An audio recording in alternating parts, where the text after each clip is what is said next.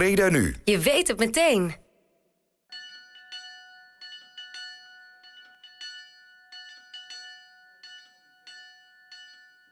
In de wezen onbegrensd in het zicht van de dood.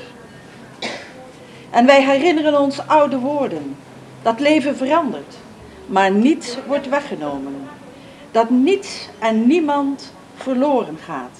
Wees gegroet, Maria, vol van genade. De Heer is met u. Gij zijt de gezegende onder de vrouwen. En gezegend is Jezus, de vrucht van uw schoot. Heilige Maria, moeder van God, bid voor ons staan hier op zondaars. Begijnhof. Wat is hier precies gaande? Ehm, er is vandaag eh, een grafkelder geplaatst, of eigenlijk beter gezegd een dubbele grafkelder. ehm, voor stoffelijke resten van begijnen en anderen die bij archeologisch onderzoek zijn opgegraven in de jaren 90 op de locatie van het middeleeuwse Begijnhof. Daar stond een kerkje en in en om die kerk is vanaf 1267 begraven tot 1534, tot het Begijnhof naar deze locatie is verplaatst. En het Begijnhof bestaat volgend jaar 750 jaar. Dus we zijn met vele activiteiten en met verschillende boeken die gaan verschijnen aandacht aan het vragen voor dat jubileum. En in het kader van die onderzoeken kwamen we ook op deze eh, stoffelijke overschotten.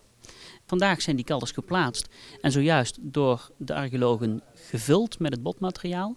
Per individu verpakt met een nummertje zodat het als wetenschappelijk materiaal nog bij elkaar blijft en ook behouden blijft.